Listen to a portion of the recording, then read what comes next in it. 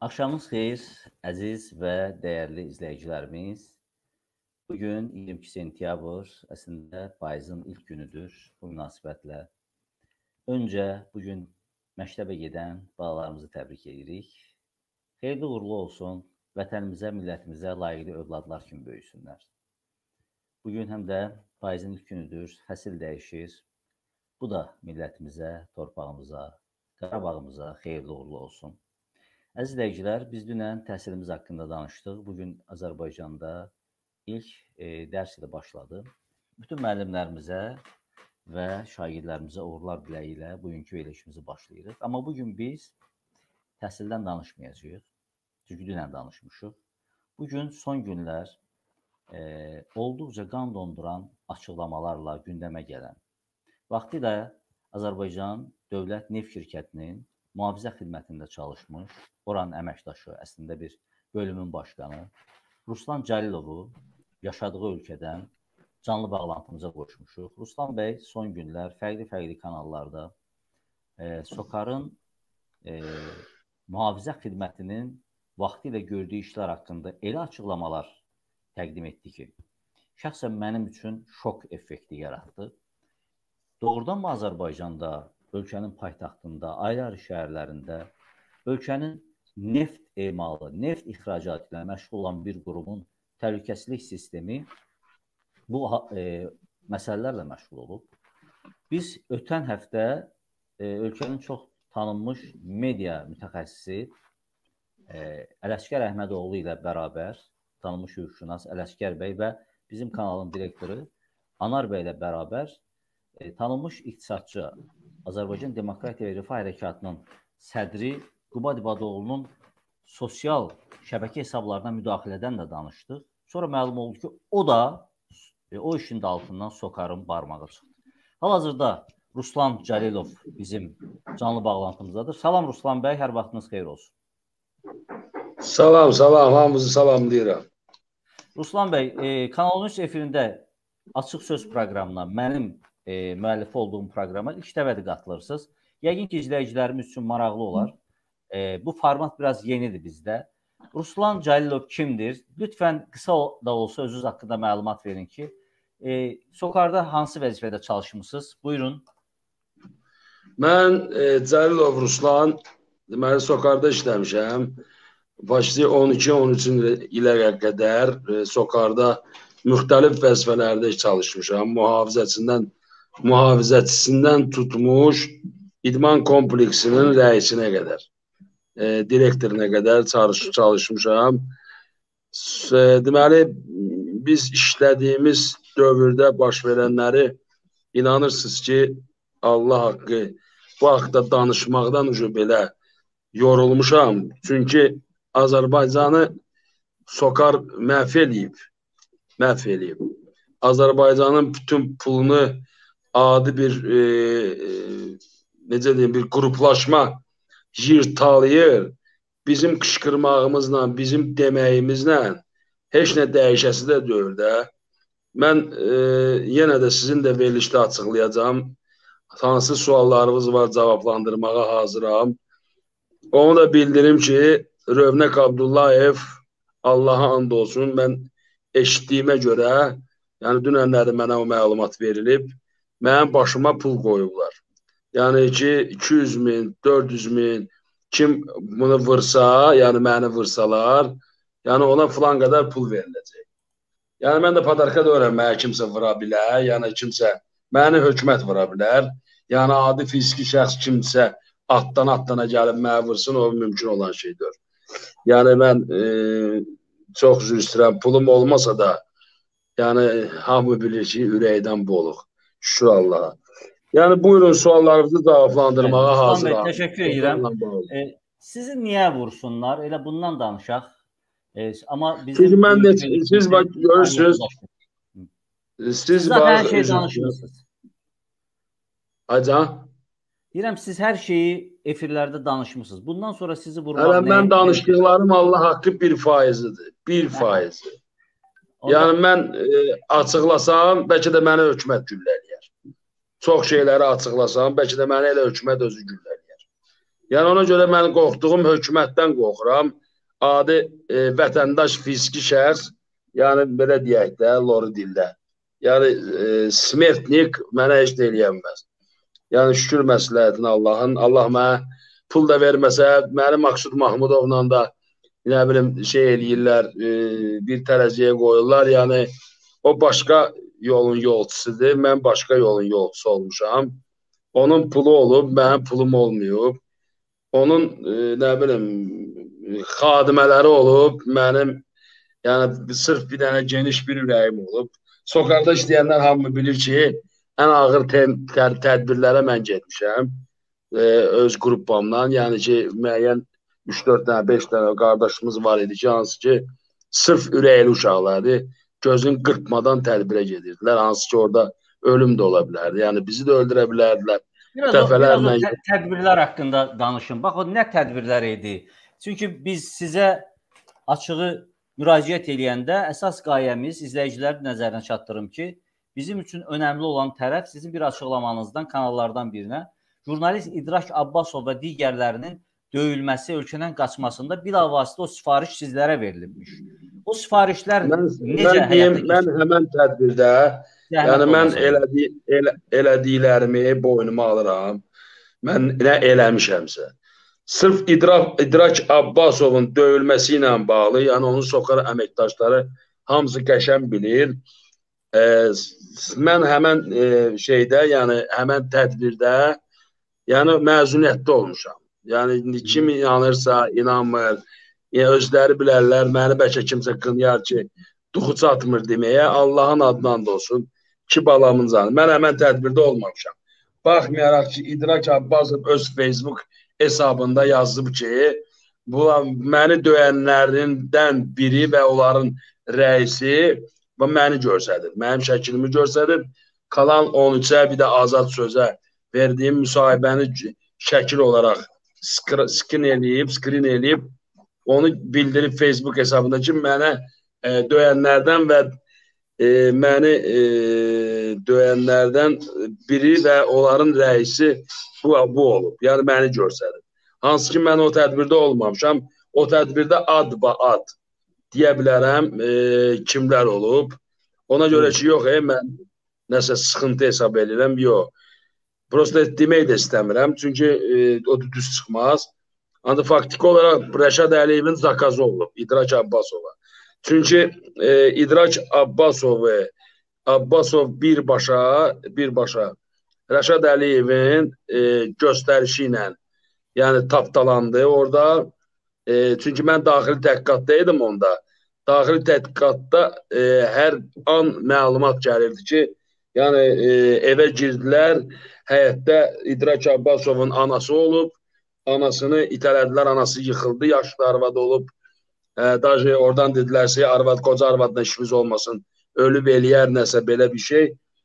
Ə, sırf e, bilməm həyətdə uşaqlar var idi, uşaqlar qorxmuşdular.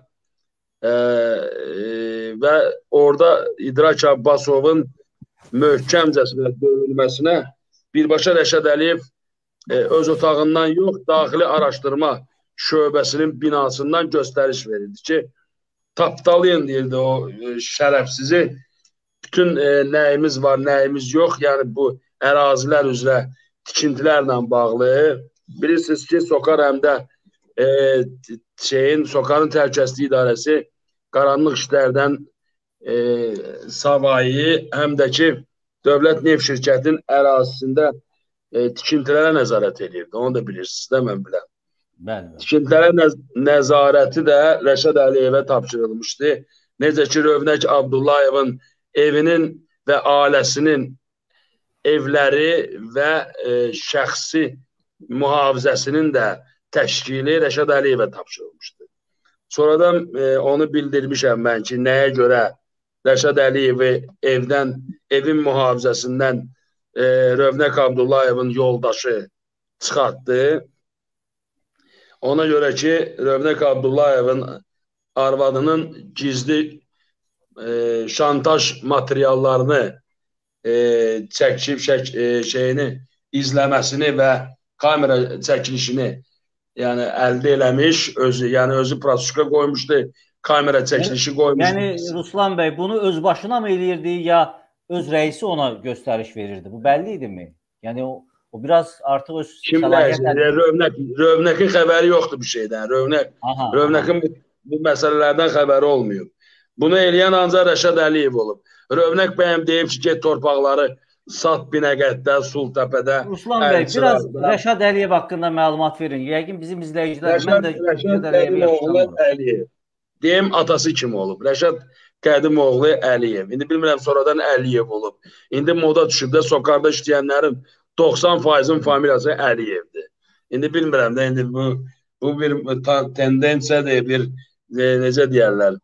Hə, yəni e, Rəşad Əliyev, Qədimoğlu Əliyev deməli 69-cu ildən anadan olub deyəsən e, əks kəşfiyyatda Namiq Abbasovun vaxtında general mayor polkovnik rütbəsində əks kəşfiyyatda rəisi olub.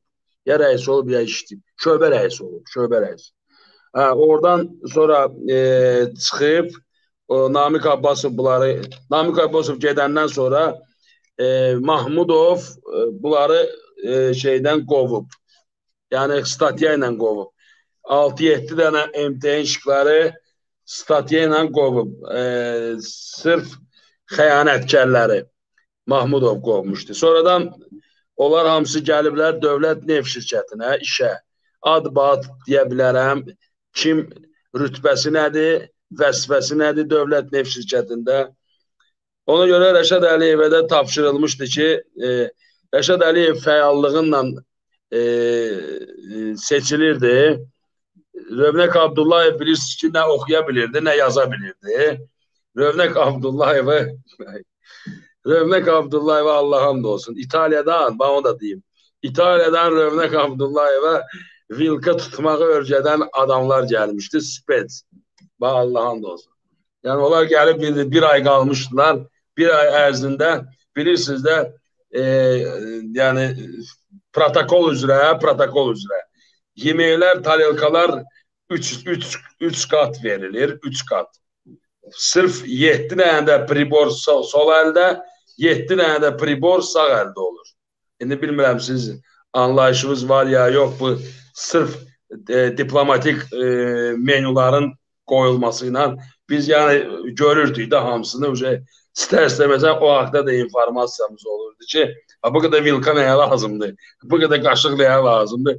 Bu sual irəli gələndə suala cavab olaraq bizə bildirirdilər ki, yəni Bunu İtalya'dan gelen mütəxəssislər Rövnək Abdullayeva Allahın adına and olsun öyrədirlər çörək yeməyi.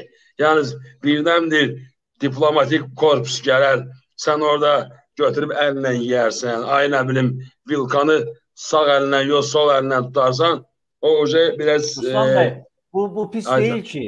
Bu pis deyil. Sadəcə bu işə xalqın boğazından kəsilə, o neftdən ayrılan büdcədən pul veriblərsə, İtaliyadan gələn mütəxəssislər ki, pulsuz gəlməz hər halda. Məsələ burada. Ya bilirsiniz yəni. nədərdir? E, adımız üzr istəyirəm, Kamran bəy oldu da. Rüfətdir mənim adım. Hə, Rüfət bəy, Rüfət bəy, çox üzr istəyirəm artıq da. Buyurun, buyurun. Xoş. Bilirsiniz nədərdir? Yəni ki, elmi dərəcəsi olan, vəzifə, e, vəzifəcən savadca, yüksək savadı olan insanlar qalıb qıraqda. Qardaş, bunu gətirib qoyublar ora. İndi məsləhət birincinindir. Özü bilər, istəyir ki, çobanı gətirsin, ora qoysun, istəyir əsas kimsə iş aparsın. Yəni prosta deməkdə məqsəd odur ki, bu adam vilkanı qaşığın yerini bilmirdi. Yəni e, necə aristokrat e, aristokratik yeməyin qaşığın şeyini bilmirdi bu adam. Bu adamı gətirdilər, qoydular. Adi şofer idi. Bu Quşqan şoferi olub. Bunu gətirdilər, qoydular e, neft şirkətinə rəis və verdilər e, bahalı-bahalı o milyonluq e, müqavilələri ki, gələ qol çək. Hə, 1 milyona qol çək 200 min sənin. 1 milyona qol çək 100 min sənin. Yəni bu da özü ilə öz komandasını gətirdi.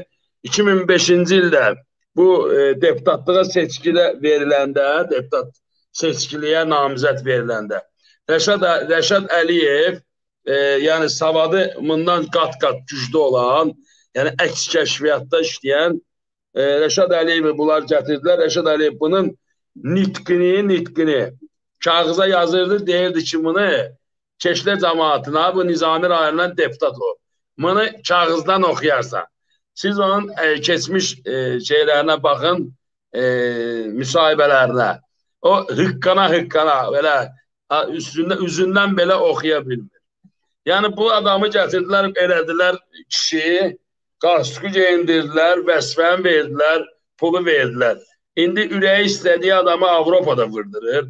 Ürəyi istəyən adamı gətizdirirlər. Da, olmaz ki, elə problemi həll eləyəsiniz.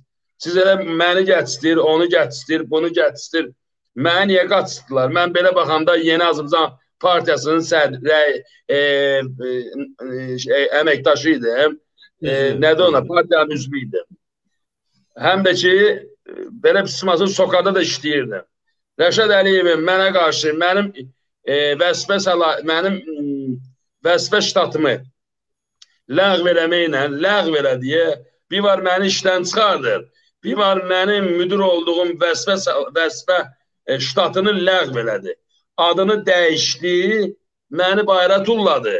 Başqalarını mənim işçilərimi götürdü işə, mənə də qayıtdı ki, ixtisarla əlaqədar və sizə iş yer yoxdur. Yəni belə bir oyun qurdular sənəd üstündə.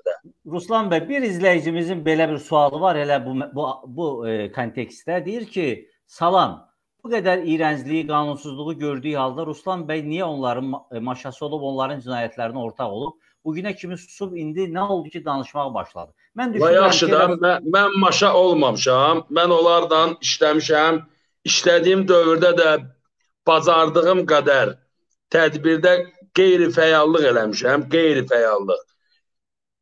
Ancaq e, etiraz eləmişik ki, biz bu haqsızlığı eləmək istəmirik. Daha olub ki, belə anlar olub ki, Allah and olsun. Yəni e, belə tədbirlərdən danışaq. Bir var qeyri-rəsmi, bir var rəsmi tədbirdən, hansı ki, ictimaiyyət üçün rəsmidir. Ancaq bu belə baxanda niyə buna prezident aparatı göz yumurdu? Forma qeyri-qanuni formalar, vayenli formalar, biletlər, sapoş, sapoqlar, branijletlər, bu, bu, bu halda silahlar olan halda tədbirə göndərsən, bu adamı sən göndərirsən adi, adi e, boş əllərlə də zqolomi rukaymi deyirlər. Boş əlli insanların üstünə. Düzdür? Prezident e, Milli Məclis bu şeyləri e, formanı təsdiq eləməyib. Bunlar Nigeri bu respublikada bir adam görmür. 6000 işçisi olan quruma heç kim nəzarət eləmir. Heç kim görmürdü ki, Bu forma nə formadır? Bir dənə maşından forma istəyirsən, sürürsən, qayı saxlayır deyirlər, bu nə formadır? Bu nə formadır? Taxmısan əynivə. İndi yaxşı, bunlar başa düşmədim. Bu boyda tədbir olur. Qırığın, Binəqədin polis rəisin üzr istəyirəm arxasına bıçağı soxdular hökməlidə. Qırığın dava gedir. Başa düşmədim, bu dövlət görmür. Bu ki, bu formallar kimlərdir? Bu vayenli formada cumublar cəmaata. Bunlar kimdir? Yükseli bunu görmürlər. Onlar, onlar sizin əməkdaşlar idi. Həmin formallar. Hamısı bilir, şeydə yəni, yazın, nə donadı. Polis polis də çəkilirdi onlardan belə çıxır, eləmi? Yox, polislə bərabər tədbirə polissiz ha. kim gedir ki? Polis Aynen. gedir, qeyri-qanun, sokarın qeyri-qanuni əməllərinin üst basdır eləyir. Ha, belə bax, polis olmasın, Allaha and olsun, xırtdənəyini kəsərlər su, sokarın əməkdaşlarını. Xırtdənəyini kəsərləri. Hamısı Naxçıvan cəmaətidir. A, kim kimin qohumudur, hamısı dartıb götürüb gəliblər ora. Bir dənə Bakılı, Bakılı 1% olsa, Allahın olsun 99% hamısı Naxçıvan cəmaətidir. Çünki mən işlədiyim dövrdə, mən 3 ildə çıxmışam. Mən işlədiyim dövrdə Rövnək Abdullayevin daxili göstərişi var idi. Ancaq Sokarat e, Allahın adından da olsun da, yəni mən e, xoşlamıram and içməyə. Prosta bilirəm ki, bizim millət çiğ süd əmib də, yəni qaynanmış süd əmməyiblər də. Ona görə bizim millətə gərək bir heç olmasa nöqtəni bir andla, zadla belə yoluna gətirəsən. Allahın adına and olsun. E, nə deyirdim yadımdan çıxdı. Hə, deyirdiniz ki, başqa regiondan gətirdilər ora ancaq e, hə, işçilər. Başqa region Rövnək Abdullayev imlə göstəriş vermişdi ki, heç bir adam e, Naxçıvanlı olmayan adam işə götürülməsin. Ancaq Naxçıvanlılar işə götürülməlidir. Başa düşdüm, e, hamı Azərbaycanlıdır. Hamı işləməlidir. Deyirlər ki, Ruslan orada belə eləyə bilərdi ki, yəni göz yuma bilməzdi. Mən 6 ay, 6 ay etiraz elədim və çalışdım başqa yerdə iş tapım. 6 ay etiraz elədim. Çıxdım bültenə, hə çalışdılar məni işdən çıxardarlar, rəsmi çıxarda bilmirdilər. Çünki mən qol çəkmirdim ərzəmə. Mən dedim, xeyr ola, əsaslandır. Məni çıxardırsan, hansı nəyimə görə, nə eləmişəm, nöqsan, inventar çatışmamazlığı, nə problemim var? Məni əsaslandır. Əsaslandıra bilmirsənsə, mən çıxmıram, özün çıxar. Axırda 6 ay ərzində deyirlər, cəmaat indi məni qınıyır. Mən 6 ay iş tapa bilmədim. Mənim aləm 6 ay ac qaldı. Mən öz uşaqlarımın üzünə baxa bilmədim. Azərbaycanda iş var 40 yaşından sonra. Azərbaycanda yubkom varsa, üzr istəyirəm yaxşı qızlardan, qadınlardan. İşə bilirsiniz ki, çərəz pastel götürürlər. Kişilərin işi, işi yoxdur. Ancaq siz də mənə baxsın, gələk petuq olasan ki, sənə kimsə iş verər. Allah haqqı. Şey, əziz izləyicilər, hal-hazırda bizim efirimizdə Sokarın təhlükəsizlik xidmətinin keçmiş işçisi Ruslan Cəlilovdur. Ruslan bəy verilişimizin əvvəlində öz haqqında məlumat verdi. E, Ruslan bəy efirə çıxmağı sevmir, özü də e, verilişimizdə dedi, amma Ruslan bəy elə bir təşkilatda işləyib, elə bir təşkilatda çalışıb ki, o təşkilat Azərbaycanın ən çox e, ölkəyə, büdcəyə xeyir gətirə biləcəyi təşkilat. Bu millətin yer altı sərvətləri məhz Sokara aiddir. Sokar 27 il ərzində Azərbaycana 191 milyard e, dollar pul gəlib. O 191 milyard dollar pulun müqabilində Azərbaycan xalqının həyat səviyyəsi bu şəkildədir. Biz ona görə e, Sokarın özündə işləyən insanların açıqlamaları daha inandırıcı olur deyə biz Ruslan bəy bu iki verilişimizə dəvət etmişik və əsasən də üzr istəyirəm, əsasən də bizim jurnalist həmkarlarımıza qarşı edilən o e, aqressiv hərəkətlərin detallarını öyrənmək istəyirik. Oktay bəy yazır ki, ay trollar, baxın ha, bu hələ lazımlı adam olub. Sizin axırınız nə olacaq? Yəni öz adamlarını belə lazım olanda silirlər.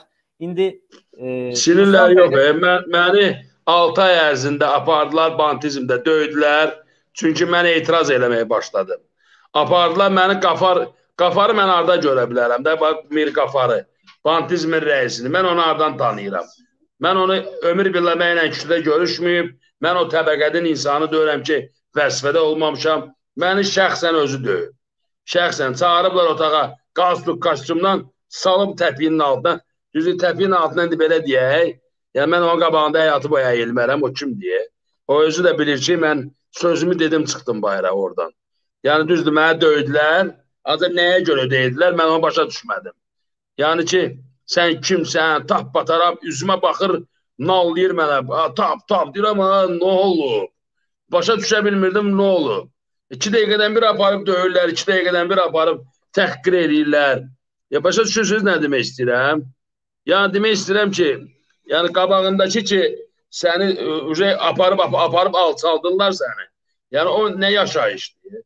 Nəyə görə? Mən etiraz edirəm ki, tədbirə getmək istəmirəm. Rəşad Əliyevin o çirkin tədbirlərində iştirak eləmək istəmirəm. Ona görə ki, Rövnək Abdullayevin o harda oğraşı üzr istəyirəm, tədbirlərində iştirak eləmək istəmirəm. Ona görə, ona görə adam döyürlər. Ona görə adam tuturlar. Mənə xəstə-xəstə Mənim Sovetskidə evimi söktülər. Mənə verilən pul 25 min pul verdilər. O boyda summadan. Ona görə mən etiraz edirəm. O etiraz edirəm elədiyimə görə. Məni yəni e, belə bir sözü 100 min pul vermədilər.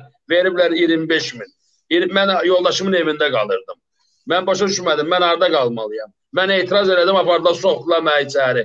Adın nədir? Dedim Ruslan. Deyirəm, bəs mən jurnalistəm, jurnalist araşdırma mərkəzinin işçisiyəm də. Fikrət Fərəməzoğlunun işləyir. Aha, siz doğrudan jurnalistikada məşğul olmusunuz? Ya idmançı bilirəm. Bəli, bəli, bəli. Doğrudan deyəndə bunun yalanı var. Və mən bu çəkdirdiyim videoları mənim başıma ağratdılar.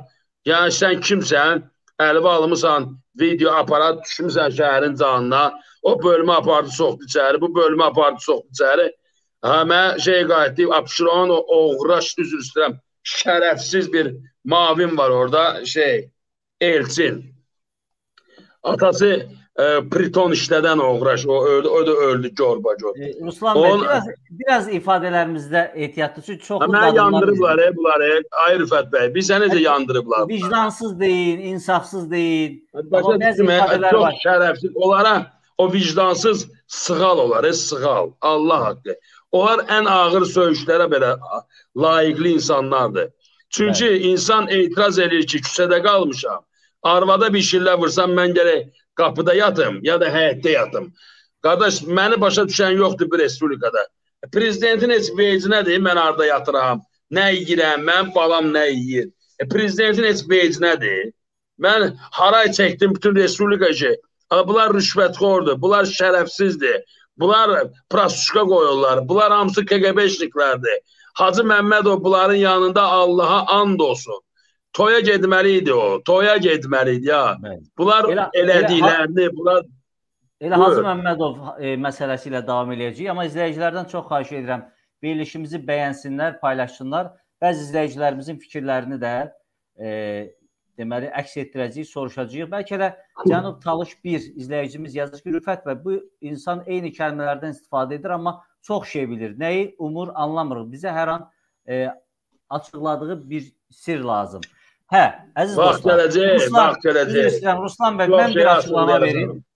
Ruslan e, Cəlilov nə siyasətçidir, nə ictimai xadimdir. Ruslan Cəlilov Sokarın işçisi olub. İndi Sokarda haqqın tapdıyıblar ölkə xaricindədir. Sağ olsun ki, efirimizə çıxır. Orada gördüklərini xüsusilə xüsusilə işgəncə tipli e, olayların şahidi olduqlarını açıqlaması bu Azərbaycanda nələrin baş verdiyini ortaya qoyması. Mən burada ürəyimi istəyir açıqlayım belə şeyləri ki, inandırım sənə gəlib mənə oturduğum yerdə öldürsünlər.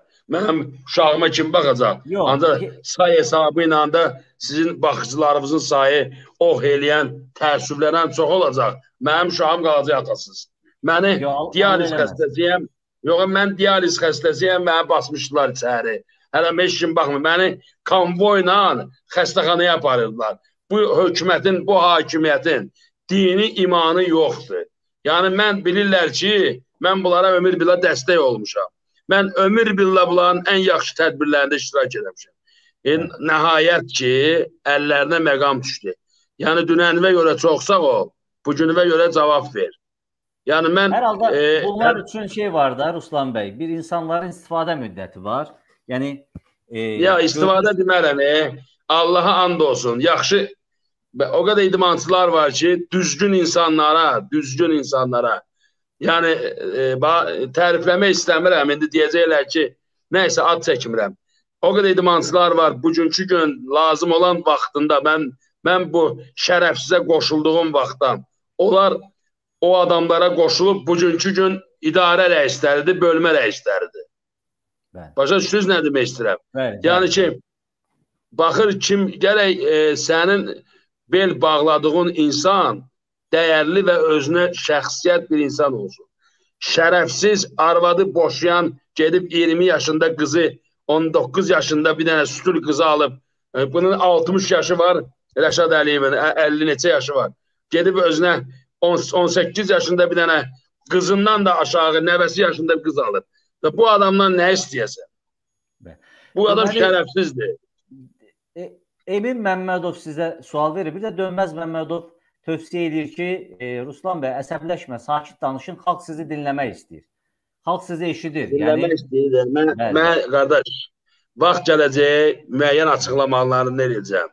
Etap yəni. etap belə açıqlamalar eləyəcəm. Siz məni e, nəzərdə saxlayın Ruslan Cəlilov kanalında və həm də sizin kanallarda da eləyəcəm. Açıqlamalar eləyəcəm. Siz bilmədiyiniz çox şey var. Mən bildiyim bundan da çox şey var. Bəli. Yəni ona görə tələsməyin də bütün kartları nəyi, açmağa nəyi tələb bacara bilirsiniz, nəyə hara qədər danışa bilirsiniz, onları deyin. Biz sizi təhlükəyə qoymaq mən istəmirəm. etap danışıram da. Mən hər gün bir şey danışmıram, eyni şeyi danışmıram. Doğrudur. Mən etap e, etap suallar var. Suallar var. O zaman bu sualları da cavablandıraq. Hər halda izləyicilərin marağına səbəb olub sizin e, verilişimizdə olmanız. Hökməlidə cəmaət döyüləndə siz orada olmusunuz. Hökməlidə bilmirəm nə vaxt. Hökməlidə yox, hökməliyə duxları çatmadı girməyə. Çünki orada o hökməlidəki o avtobuslar qaldı orada. Maşınları qırmışlar. Onu e, məndən qabaq komanda olub. Deyən deyim sizə də 2007 ya 2008-ci ilin e, spetsnazı olub orada. Mən 2008 yox 2009-da gəlmişəm. Uca mən gələndən sonra mən biz sansılarında iştirak eləmişəm. Sultəpə, Xocasən, e, Sultəpə, Xocasən, Biləcəri, Binəqədi və o tədbirlərin 70 faizində mən olmuşam. Nə baş verir? Mən məsələn ölkədə deyildim orada. Nə baş verməyib ki, orada nə baş verməyə bilər? Ürəyimiz istəyən cinayət işləri var. Prokurorluqlar hamısı bütün cinayət işlərini xitam veriblər, hamısını. Hamısına xitam veriblər. Yəni ki, güya kimi barışdırıblar, kimi tapşırıqla yoluna qoyublar. Yəni ki, prokurorluq birbaşa Sokara işləyir. Yəni deyim biraz. Sokar e, adam vururdusa tədbirdə, yəni o adam e, sözün açığı cinayət məsuliyyəti daşımırdı. Nə o tərəf, nə bu tərəf. Dərd orasıdır ki, Sokarın əməkdaşlarını da bıçaqlayırdılar. Və Şuşa qəsəbəsində axırıncı kərəm. Mən e, Niva ilə e, yəni tədbiri tədbirdə axırda Niva sürəni bıçaqladılar, rəis mavini bıçaqladılar, rəisi bıçaqladılar. Yəni o qədər adam orada bıçaqladılar Şuşa qəsəbəsində. Orada belə bir qırğın düşdü, qırğın. Bir şey ki, mən tək qaldım orada. Şuşa qəsəbəsinin nümayəndələri Orada yaşayanlar baxırsa məni tanımalıdır. Mən tək qaldım. Məni kuruğa aldılar. Bizimkilər hamısı qoydu qaçdı. Məni kuruğa aldılar. Allahın adından olsun. Mən oradan nə tər bir şey ki avtobusda qoydu qaçdı. Tək mən orada necə çıxmışamsa salamat, onu bir Allah bilir. Dalaşa dalaşa. Yəni indi mən e, idmançı olmuşam da, yəni nədir nədir bacarıram. Ancaq deyim sizə ki, bizi də aparıb ölümlə üz-üzə qoyurdular. Həmən tədbirdə bizim bir uşaq ölümlə üz-üzə qoy, qoy, qoyurdular deyəndə gedirsiniz orada cəmaatı döyməyə, oranı dağıtmağa. Orada deyirlər ki, bax qulaq, Rüfət bəy, qulaq as da. Bizə deyilirdi ki, bizə deyilirdi ki, deməli ərazi dövlət neft şirkətinə mə, e, ma, şeydir, məxsusdur və ərazinin e, tikintiyə qeyri-qanuni tikintiyə icazə yoxdur. Yəni kaçalkaların böyründə, neft olan ərazilərdə e, deməli Kaçalkadan e, neft borularından 50 metrə məsafədə, yəni belə bir təlimat verirdilər və təlimatı da mühafizə olunur. Mühafizəni də eləyən spetsnaz eləmir. Spetsnaz o halda gedirdi ki, cəmaət yığılırdı və cəmaət o ə, mühafizəçiləri döyürdülər. Nə bilim yığılıblar bir 40 nəfər, əmoğlu, dayıoğlu, biboğlu, xaloğlu, nə bilim nə oğlu. Onda spetsnazı göndərirdilər. Gedirdik, baxırdıq, e, yoluna qoya bildiyimizi qoyurduq. Qoya bilməyən ki, düşürdün maşından deyirdilər ki, belə-belə olasınız. Ha, orada oca yoluna qoymaq mümkündür. Camaat cumurdu maşınlara, orada qarşı durma yaranırdı. Başa düşürsünüz nə demək istəyirəm? O qarşı durmada da dərd orası ki, nə onları tuturdular, nə bizimkiləri tuturdular. Yəni meydandır da, kim kimə itələdi. Yəni bıçaqla, onlar bizimkilərə soxurdular. Bizimkilər nə bilim ha Dubinka, nə bilim nə nə aləm deyirdi bir-birinə. Yəni bu qarşı qarşı durmanı yaradı. Bəli. Dərd orası ki, tədbirə gedəndə, tədbirə gedəndə bütün kommunikasiyalar kəsilirdi. Deməli Binəqədin icra başçısı qabaqda gedir. Binəqədin polis rəisinin mavini sağda gedir. Bələdiyyənin sədri bu yanda, bu birisi bələdiyyənin sədri bu yanda polis nəfərləri qabaqda, arxada e, Sokarın təhlükəsizlik idarəsi gedir. Lap axırda da qabaqda əstəğfurullah. Lap e, qabaqda polislə bərabər də spetsnaz gedirdi. Bizim uşaqlar. Tədbirdə belə dava düşdü deyirlər hökməliyə. Hökməliyə girmək hər oğlanın duxu üçün dör idi. Hökməliyə girib polis rəisi yanına yanına bıçaq soxmuşdular. Yəni e, bir qədin rəis müavininin. Yəni hamı kommunikasiyaları kəsirdilər, cəmaatın əlindən telefonlar alınırdı. Səncə fikirləş gör. İnandırım sizi ki, biz çox vaxtı tədbirdə belə eləyirdik ki, yəni biz görsənməyək. Yəni Nivaya minib biz çıxırdıq dağın başına, güya oradan müşahidə edirik. Orada da aşağıda da qan su yerinə axır. Bir şey ki, polisləri döydülər, polislər yaralanmaq, gör hansının haqqında danışırlar. Heç birin. İdrak Abbasov ki ortada çəkiliş eləyirdi həmən vaxtı. Onun Hı -hı. əlindən hər şeyini aldılar, o qədər döydülər o yetimi. O qədər döydülər. Yəni yeganə o idi. Necə ki Nurlan Libre ilə o Teymur Teymur idi, yox kim idi? Yox, Nurlanla bir də kimsə döyülmüşdü, telefonlar alınmışdı əllərindən. Bu e, şey əllərin döyülməsi ilə bağlı. Yadınıza gəlir o material. Bəli, bəli, bəli. Mən xatırlayıram. Hə, həmən materialda da olduğu qaydada telefonla əl göstəriş Rəşaddan gəlir ha. Telefonlar əlindən alınsın, çırpın, it balası kimi. Hara gedirlər, getsinlər. Bəli. Ver. Əziz izləyicilər, bir də diqqətinizə çatdırıram ki, hal-hazırda canlı yayında Sokarın keçmiş əməkdaşı, təhlükəsizlik bölməsinin əməkdaşı Ruslan Cəlilovdur. E, və lütfən bəyənin. Bizi hal-hazırda 1500-dən artıq izləyici izləyir, amma bəyənənlər çox azdır. Lütfən Azad Mediya, Azad sözə bəyənmənizlə, paylaşmanızla Damad nə bəyənəcək? Dəstək verin. Dəst dəstək verin lütfən.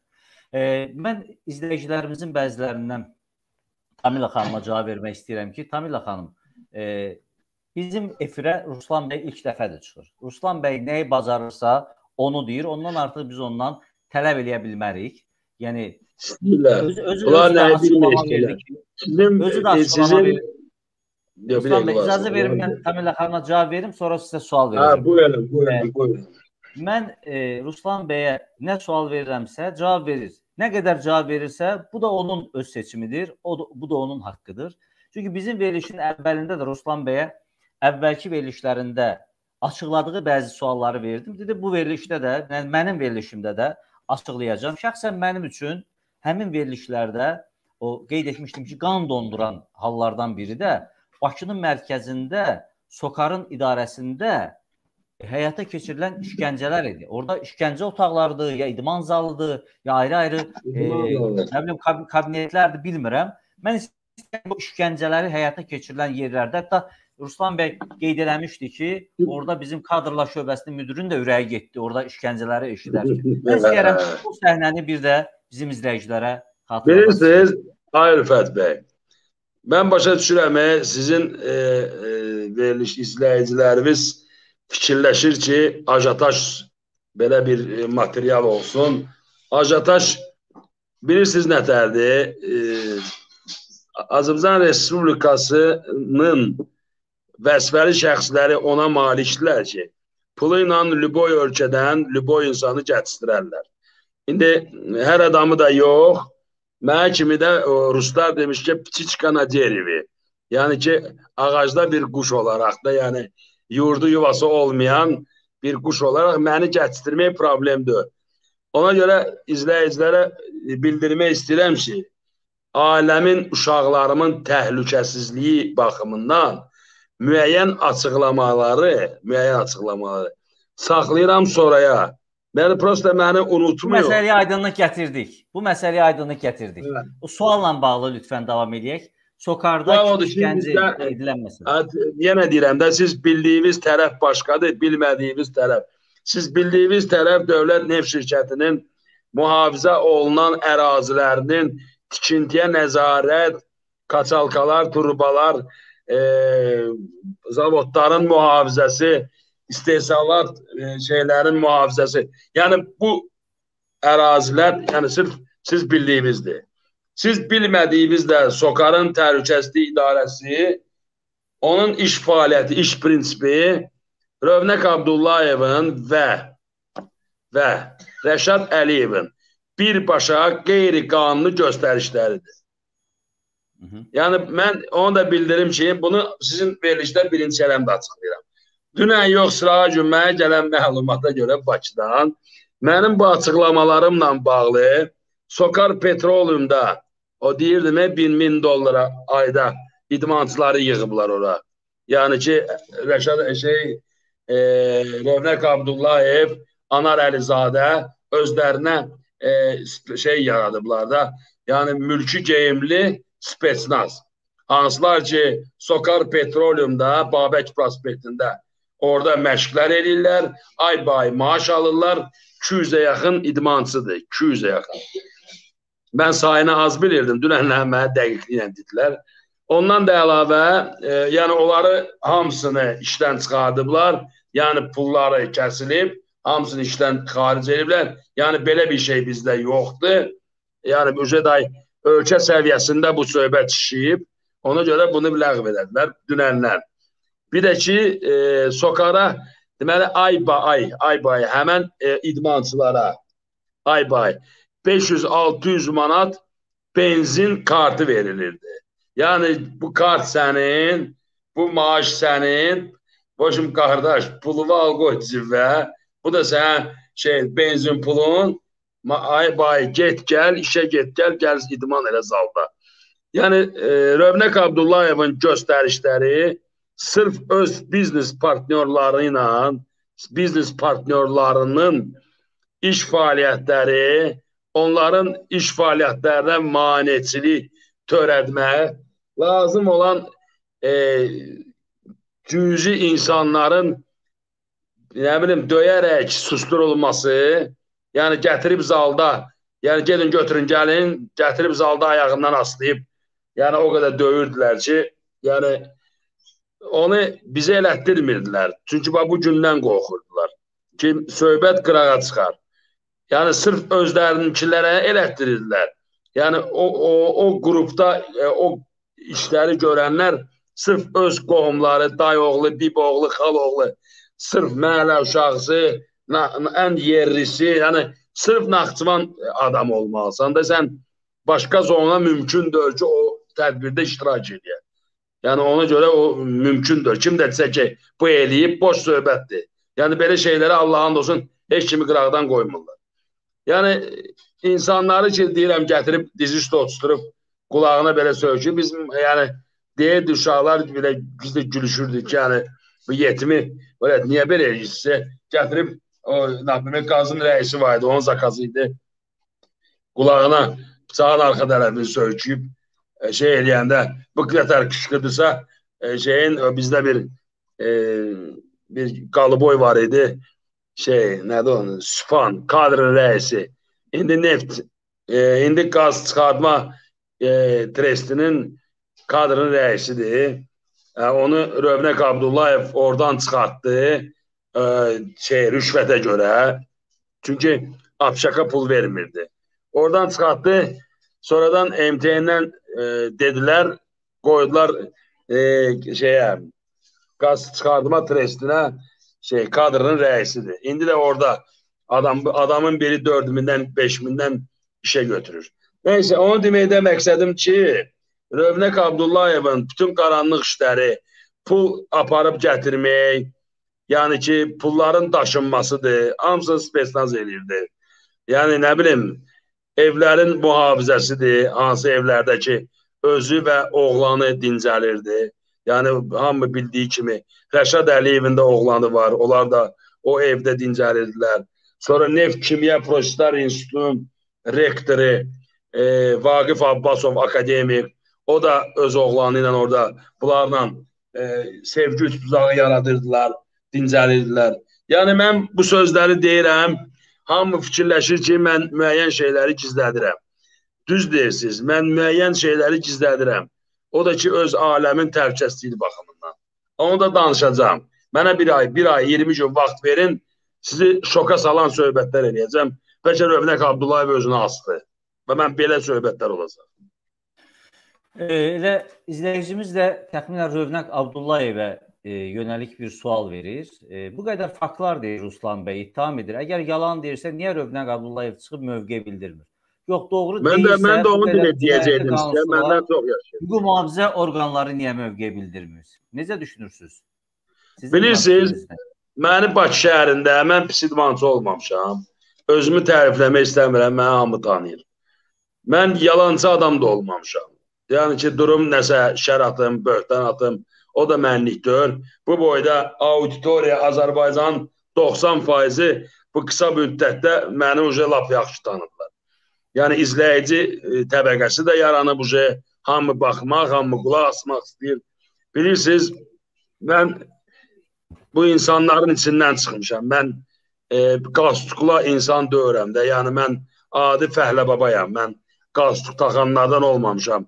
O pencere üz üstürəm, aynı qalstuk taxanlara şamil eləmirəm hamısına. Yəni ki, belə insanlar var ki, qalstuk boğazında görməyib, yəni sən də mənə bağışlı. Eşşəkdən düşüb, yəni bu Rövnək Abdullayev kimi. Gəlib oturub indi orada vəzifədə heç qaşıq tutmağı, vilka tutmağı, danışmağı belə. İndi nitqinə baxın, o ilə laqapet işləyir, əməlli başlı. Yəni bu adamı sırf e, plastilin kimi vlipit eləyiblər də. Yəni ki, vəzifə üçün. So, görüntüdə bu adam budur. Yəni siz o qədər şeylər var ki, siz bilmirsiniz. Bu adam siz də mənə bağışlayın, katibələri ilə dincələn adamdır. Sonra da götürür katibələrinə ərə verir. Bildiniz nə demək istəyirəm? Yəni orada e, nədir o, o deputat? Nə idi o deputatın adı? Xətayının e, Kakibuz Vəli. O öz katibəsini əlləşdirir deyə nə idi onun adı? E, Mirələmov. Mirələmov. Mirələmov. Allaha and olsun. Mirələmov onun yanında toya getməlidir. Əməlli başlı dərmanlar keçizdirirlər xaricdən sırf e, cinsiyyəti orqanını üzr istəyirəm, böyüdən və ehtirası çoxaldan bir adam mən yalan deyirəmsə qardaş. Sokarla e, bağlı. E, Ruslan bəy, bu məsələlər ki var. E, bax korrupsiya, rüşvət, xalqın korrupsiya e, deyim də istəyirlər qardaş. Bütün padratçı şirkətlər bu məsələlər onların müqabilində cılız məsələlərdir. Şəxsən mən belə düşünürəm. Niyə? Yox, bilirsiniz nədir? Bunun içərisində bir özəllik var, amma xalqın boğazından kəsib eləmək e, məsələsi var. Yox, Bizə xalqın boğazından deyəndə ki, qızına ev, ev dirəmi, e, qızının öz adeli şeydə e, öz şirkəti, axranların adına şirkətlər açıblar, öz sürücüsünün adına şirkətlər açıblar bütün kvadratçı şirkətlər öz sürücü və mühafizəçilərinin əmsoğlu, bibsoğlu, dayısoğlu öz adlarını açıblar. Bütün padratçı şirkətlər. Görün bir dənə başqa qıraq adam, padratçı şirkət sokarın işini görə bilər. Bəli. Hamısı öz qohum əqrəbəsidir. Doğrudur, haqlısınız. Sara xanım deyir Yo, ki, mən... e, Sara Talşinska adlı izləyicimiz deyir, e, hörmətli bəy, Deyir bu açıqlamalar sizin açıq bayaqlar dediyiniz bir qədər tez olsaydı daha yaxşı olardı. İnsanlar çox əziyyət çəkir. Yəni mən düşünürəm ki, yaxın e, həftələrdə bəlkə e, yenidən Ruslan bəyin açıqlamalarına şahid olacağıq.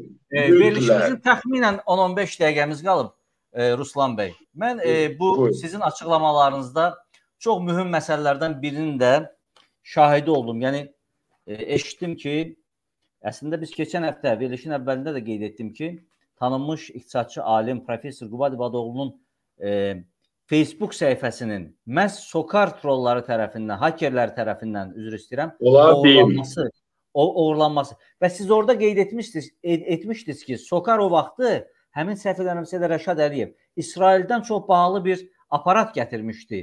Məsələlərlə bağlı haker mənzillər var. Agentura mənzilləri var. Mən sizlə kim ki MTN-də də DTX-da işləyib, məni düzgün başa düşə bilər. Sırf DTX-nın nitqidir bu. Yəni mən bunu hardan bilə bilərəm? Mən bunların içində işləmişəm. Bunlarda gizli mənzil agentura, mənzil agenturası, bunların gizli mä mənzilləri var. Hansı ki orada gizli agenturalar fəaliyyət göstərir. Bunlar İsraildən prosushka, gizli kameralar, e, nə bilim, onlar e, bütün avadanlıqla İsraildən gətiriblər. Rəşad Rəşad Əliyev müalicəyə gedəndə İsrailə qoy açılsınlar Rəşad Əliyevin pasportunda İsrail vizası yoxdursa bir adam çıxsın desin yalan deyir. İsrailə gedəndə o müalicə ilə bağlı oradan şeylər gətirib nədir onun adı? E, Prasushka boşumda bu avadanlığı oradan gətirib hansı ki bilir e, nəyə nətər eləmək lazımdır. Ha, sırf qalanda bilirsiniz nətərdir? Yenə də açıqlamanı siz məni dartırsınız ki, yeni yeniliyə. Bilirsiniz nətərdir? Rövnək Abdullayev sizcə niyə rabitə naziri tezliklə dəyişdirildi? Sizcə? Yəni bu cəmaət buna bu rabitə naziri hə, qoyulmuş. Ramin Qulzadəni deyirsiniz? Ay, niyə dəyişdirildi sizcə? Ona Ramin görə ki, Rövnək Abdullayev bütün troll kandası və sırf hamısı pullu ilə, yəni ödənişli olub, e, Ramin Quluzadənin əli ilə cəmaata, cəmaatın e, telefonlarına müdaxilə eləyə biliblər. Cama, o, Setivoya, yəni söhbət gedir.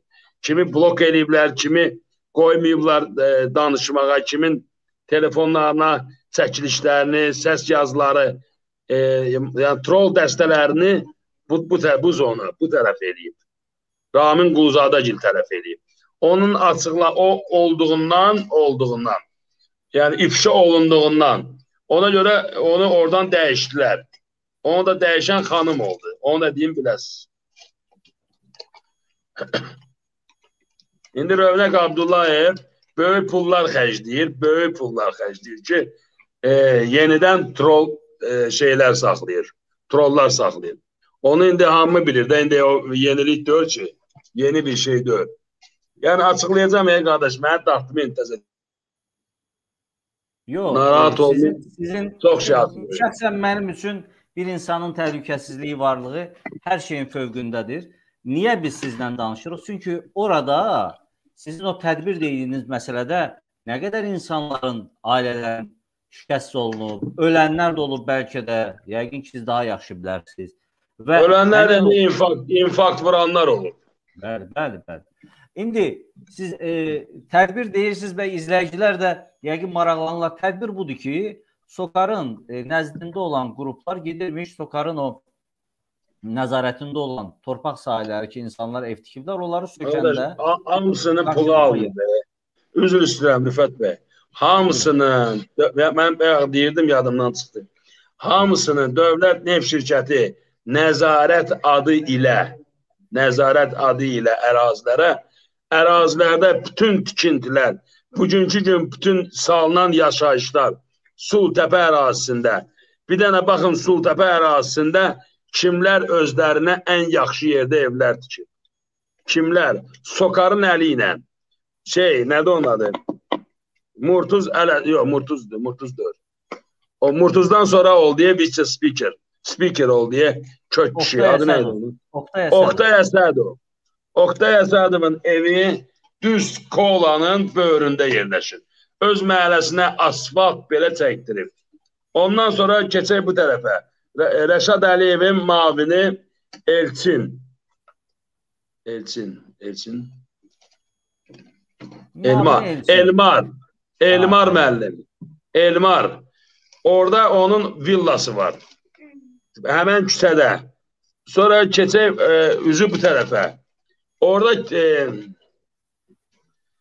Hafqanın evi var. Nə bilim, e, ürəyimiz kimin istəyir orada evi var da mən ad, ad, məhəllə, məhəllə deyə çəkə bilərəm. E. Bu ad qutarmayacaq. Yəni private istifada oturanlar e, e, nədir? E, private istifada yəni e, Milli Məclisdə belə oturanlardan tutmuş prezident aparatına qədər, yəni orada yaşayışlar var. Hansı ki icazəsi belə, pulu belə. Mən mənim yadımdadır ki, prezident aparatın şöbə rəisi, adı yadımda deyir Allah hamd olsun. Şöbə rəisi ev tikdirirdi, tikdirirdi.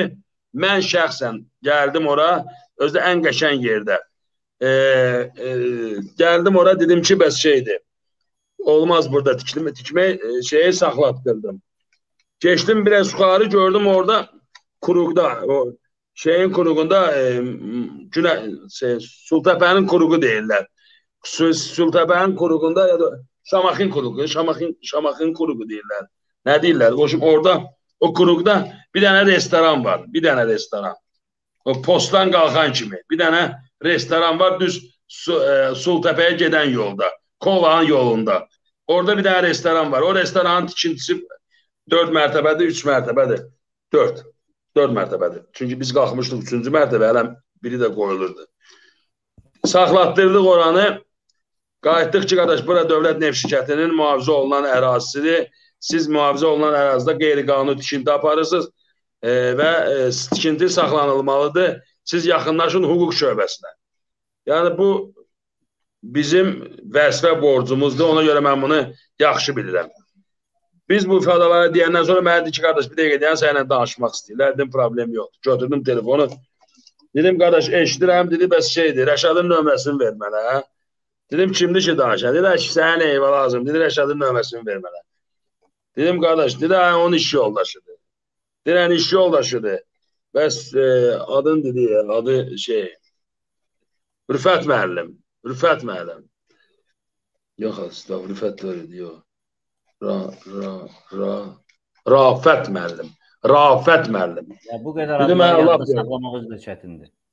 Adam mənə daha ya, şəh qurban. O şimdi Rafət müəllimdir, Rüfət, Rüfət deyil, Rafət.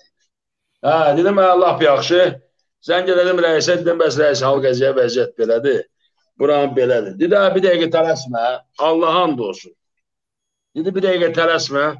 Bir də gördüm, e, şey elədi ki, yaxşı, gedin oradan. Dedim, hə, gedin, gedək də.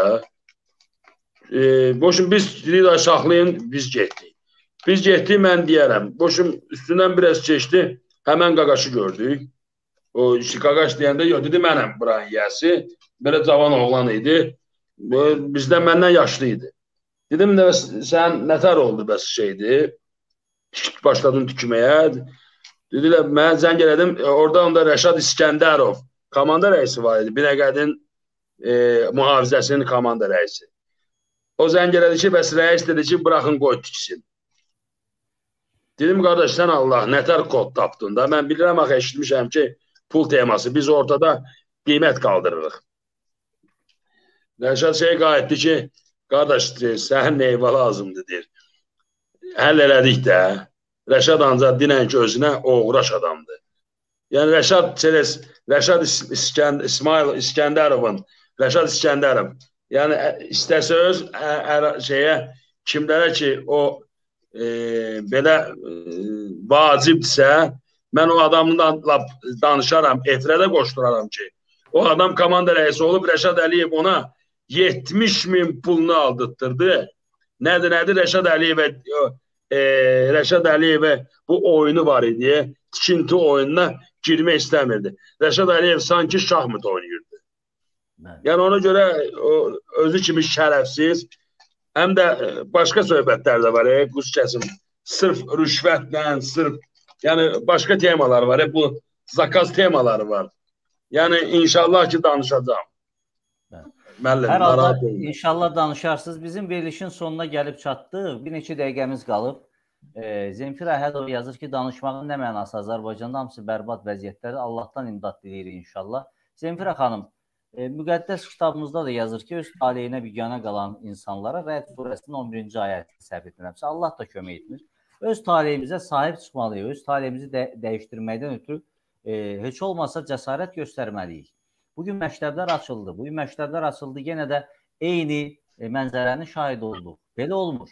E, mən bir izləyicimiz də e, Ruslan bəyə yazır ki, bugündən sabaha etibar yoxdur. Siz 20 gündən sonra danışacağam deyirsiniz. İnşallah Ruslan bəy yəqin ki e, 20 günə qədər bi- bizim efir Azərbaycan xalqının haqqını tapdayan, dövlətimizin Siz Allah haqqı bilmirsiniz nə qədər pullar yeyiblər.